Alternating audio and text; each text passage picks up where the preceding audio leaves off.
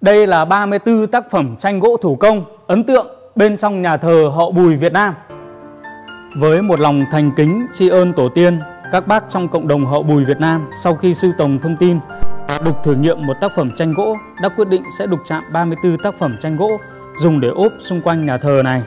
Và 34 tác phẩm này chính là những câu chuyện đằng sau chặng đường lập nước, giữ nước và xây dựng đất nước ta gắn với tên tuổi của các anh hùng, nhân sĩ, danh sĩ, những nhà yêu nước như là Châu Đô Đốc Bùi Duy Trí, Ngài là tướng huyền thoại của Thánh Gióng đánh giặc ân và cách nay đã 3.000 năm, hay là tản viên Sơn Thánh Bùi Thiên Quý, đại tướng Bùi Công Thốn, tướng trấn ải phía Nam của vua An Dương Vương.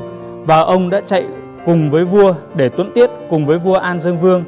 Và tiến sĩ Bùi Văn Dị, ông là nhà danh sĩ, nhà ngoại giao, đại thần trải qua bảy đời vua nhà Nguyễn Ông là người đầu tiên chỉ huy quân đội triều đình đánh giặc Pháp ở Hà Nội. Và nữ tướng Bùi Thị Xuân, bà có công chỉ huy voi chiến của vua Quang Trung để đánh đuổi quân Thanh mùa xuân năm Kỷ Dậu 1789. Và các bức tranh này đều được đục chạm ở trên phôi gỗ lim trên một cái bảng mặt rất là rộng.